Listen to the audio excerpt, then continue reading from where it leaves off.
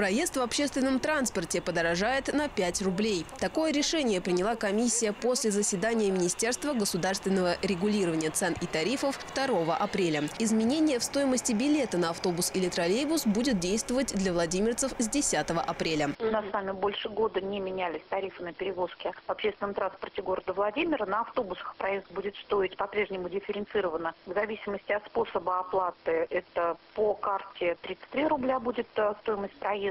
И если вы платите наличным расчетом, то ценник становится 35 рублей. Проезд в троллейбусах за наличку будет стоить также 35 рублей. Если же вы платите банковской картой, стоимость будет не 33 рубля, как в автобусе, а уже 32. Такие цены владимирцы должны были увидеть еще 10 февраля. Почему в этом году так затянули с пересмотром тарифов на пассажирские перевозки, министр цен и тарифов объясняла на своей пресс-конференции. Как сообщала Мария Новоселова, город находился в процессе транспортной реформы. Видимо, поэтому тогда было не до пересмотра стоимости проезда. При этом для льготников цена сохранится до конца апреля. Хотя проездные билеты и подорожают все же не так сильно, как разовый проезд. Апрель едут как ехали по старым ценам, а уже за май сейчас за этот период, вот до конца апреля, мэрия такие решения примет. Но что для себя мэрия понимает безусловно, это то, что положение льготных категорий граждан в связи вот с таким подъемом тарифа, оно не должно ухудшиться. То есть, насколько я полагаю, есть основания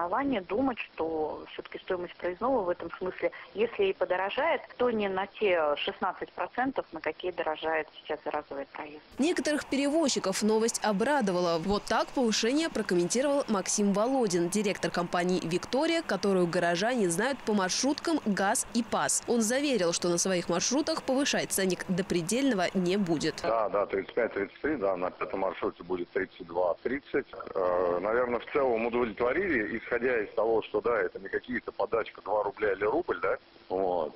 Они, конечно, помогут снять ряд проблем, существующие у оставшихся перевозчиков, да, вот, потому что где-то можно будет там что-то подделать, подолотать больше, чем по чуть-чуть. Ну, соответственно, позволить э, водителям еще зарплату поднять. Мы, конечно, и так ее уже, допустим, подняли. Мы попытались услышать мнение других участников рынка. До руководителей Владимир Пассажир Транса, РТС и Евротранс Владимир Плюс оперативно дозвониться не удалось. Перевозчик Александр Тимофеев комментировать повышение тарифа не стал. О том, что такое увеличение ценника не спасет частников, высказался представитель компании-перевозчика, которая покинула рынок в конце 2023 года как раз из-за экономически необоснованного тарифа.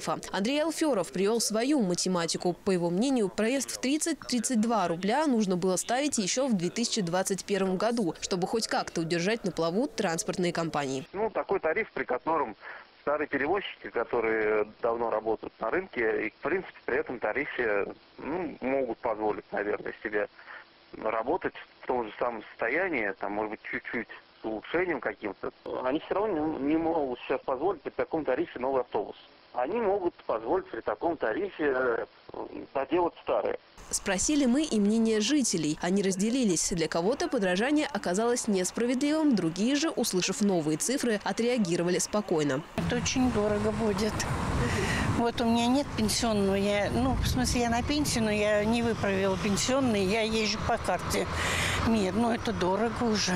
Мне, ну, если честно, все равно. Но нужно как, наверное, оплачивать э, ну, работодателю и зарплаты, и как-то компенсировать, наверное затраты свои.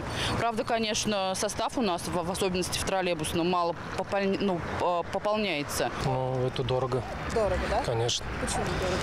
Ну, потому что автобусы все старые, очень э, ну, плохое расписание у автобусов. Ну, за что платить деньги, я не знаю, честно. И мне кажется, вполне нормально. Это же нормальная практика, когда цены повышаются периодически. Ну а так, э, первая, конечно, реакция – это опять подорожание. Вот. Ну, хочется надеяться, то, что будут улучшения, что будут э, более квалифицированные кондуктора, водители, что автобусы будут э, менять. К слову, предельную цену, как ни крути, устанавливают в профильном министерстве. Перевозчики же могут только подавать свои документы с так называемым запросом на определенную сумму. Так, как нам стало известно, частная компания «Виктория» подавала документы на урегулирование цены в сторону 38 рублей, а муниципальная организация «Владимир Пассажир Транс» запросила 47. При этом перевозчики просят ту стоимость, при которой они могли бы регулярно регулярно ремонтировать подвижной состав и обновлять его. Ссылаясь на экономическую необоснованность тарифа, рынок пассажирских перевозок с конца прошлого года покинули четыре компании – «Ситилайн», «Пуатис», «Окта» и ИП «Михайлов». Маргарита Бычкова, Александр Агафонов, Шестой канал.